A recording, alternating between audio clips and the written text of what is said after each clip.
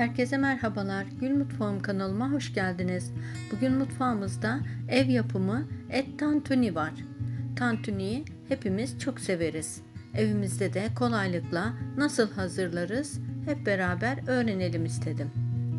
Gereken malzemelerimiz 450 gram kadar dana eti, 2 domates, 2 adet kuru soğan, maydanoz ve baharatlarımız var.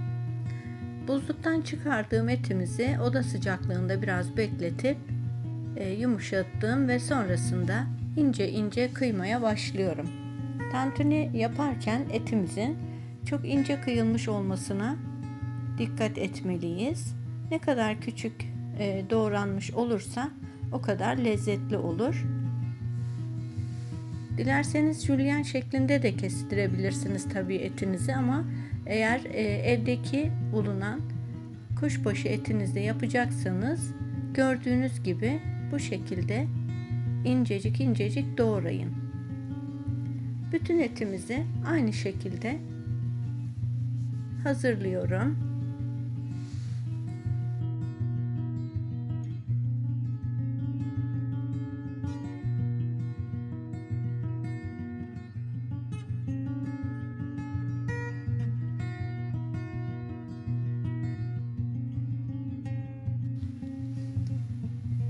Evet, gördüğünüz gibi hazırladım. Şimdi tavamızı alıyorum ve ocağımıza biraz ısıttıktan sonra etimizi mühürlemek için tavamızın içerisine aktarıyorum.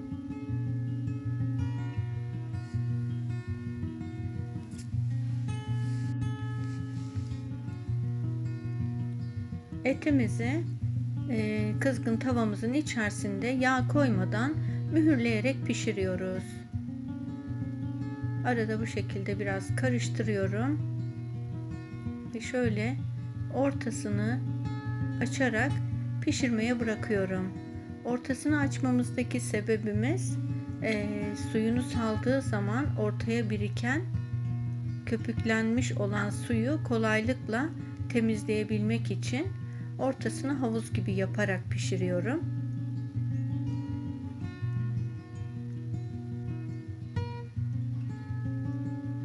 Biraz karıştırdım. Gördüğünüz gibi ortasında suyu iyice birikti. Bu suyu birazdan temizleyerek alacağım oradan.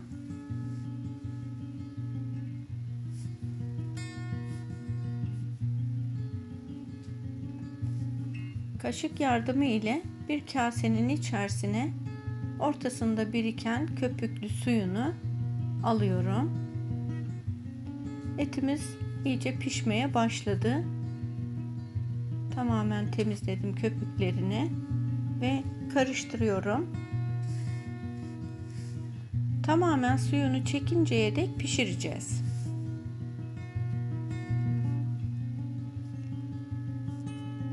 Bu aşamada ocağımızın ayarını da kısık ateşe getiriyorum ve üzerine bir kapak kapatıyorum. Pişirmeye bırakıyorum. Diğer tarafta soğanlarımızı ince ince kıyarak doğruyorum ve hazırlıyorum hepsini. Orta boy 2 adet soğan kullandım. Sizler dilerseniz kişi sayınıza göre malzemelerimizi artırabilirsiniz. Karıştırıyorum. Tuzladıktan sonra Üzerine baharatlarını ilave edeceğim. Bir çay kaşığı sumak döküyorum. Ve bir çay kaşığı da toz biber döküyorum. Toz biberimiz acı olanından tercih ettim ben. Sizler dilerseniz tatlı olanını da kullanabilirsiniz. İyice birbirine karışsın diye harmanladım. Şimdi maydanozlarımı yıkamıştım. Onları da incecik incecik doğruyorum. Maydanoz sevmeyenler kullanmayabilirler tabii ki. Bu sizin tercihinize kalmış. Maydanozlarımızı da ilave ediyorum ve soğanla birlikte onları da güzelce karıştırıyorum ve kabımızın içerisine alıyorum. Şimdi domateslerimizi doğrayacağım. Domateslerimizi de minik minik doğruyorum.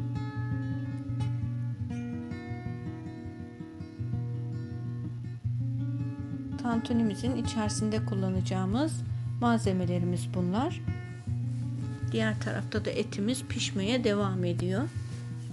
Malzemelerimizi hazırlayalım.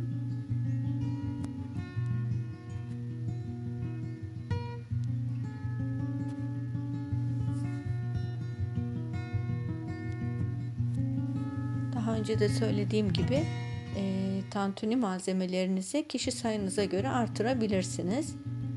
Ben 4 kişi için yaptım. Evet domatesimiz ve sumaklı soğanımız da hazır. Şimdi etimize bakmaya geçelim.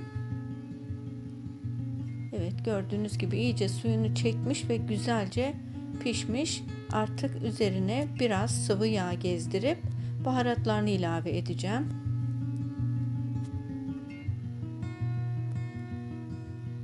Bir tatlı kaşığı kadar toz biber ilave ettim. Tuzunu da kattım ve birlikte karıştırıyorum. Bu arada e, toz biber yanmaması için bir çay bardağı kadar ılık su ilave ediyorum. Birlikte tekrar biraz daha pişiriyorum. Tantuni etimiz hafif sulu ve yumuşacık olmalı. Bu suyun içerisine lavaşlarımızı bastırarak ıslatıyorum. Lavaşları e, etin suyuyla ıslatıyoruz ki kolayca içerisine etimizi koyduğumuzda rahat dolayabilelim. 4 adet lavaşı pişirdiğimiz etin suyunda iyice ıslatıyorum.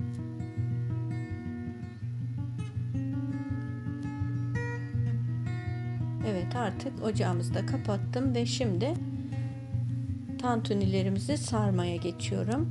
Lavaşımızın içerisine bir sıra hazırladığım soğandan bir sırada domatesten diziyorum ve hemen yanına pişirdiğimiz etlerimizi yerleştiriyorum. Tavuk ile de hazırladığım tantuniyi yukarıdaki çıkan linkten izleyebilirsiniz. Yukarıdaki bağlantıyı tıklayıp tavuk tantuni e, tarifimi de izleyip öğrenin lütfen. O da çok güzel bir lezzet olmuştu. İkinci tantunimizi de aynı şekilde hazırlıyoruz ve lavaşımıza sarıyoruz. Çok lezzetli, çok doyurucu, harika bir yöresel yemek tarifi bu. Herkesin çok sevdiğinden eminim. Sizler de evinizde sevdiklerinize kolaylıkla hazırlayabilirsiniz ve çok güzel bir öğün olacaktır sizler için de. Evet gördüğünüz gibi şimdiden görüntüsü bile ağız sulandırıyor. Biz çok severek tüketiyoruz. Sizler de mutlaka çok basit, çok da pratik olan bu tarifi kolaylıkla hazırlayıp ikram edin.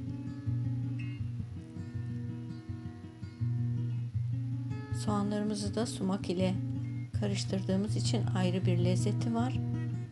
Domateslerimizi de yerleştiriyoruz. Şimdi etimizi de bolca dizelim arasına.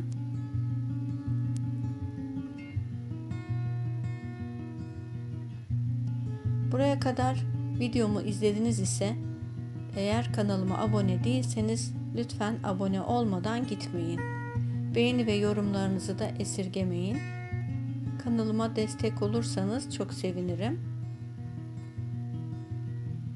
Abone olduğunuz zaman bildirim zilini açarsanız gelecek olan her videomdan ilk önce sizler haberdar olursunuz. Bu videomu sevdiklerinizle de paylaşabilirsiniz. Kendi sosyal medyanızda paylaştığınızda daha çok kişiye ulaştırmış olursunuz. Tantunilerimiz artık hazır. Yanına dilediğiniz içecek ile dilerseniz güzel bir ayran hazırlarsınız ve birlikte tüketirsiniz. Videomu izlediğiniz için çok teşekkür ediyorum. Gelecek olan yeni videolarımda sizleri kanalımda görmekten çok mutlu olurum. Kendinize çok iyi bakın. Videomu sevdiklerinizle paylaşmayı unutmayın. Beğeni ve yorumlarınızı da esirgemeyin lütfen. Hoşçakalın.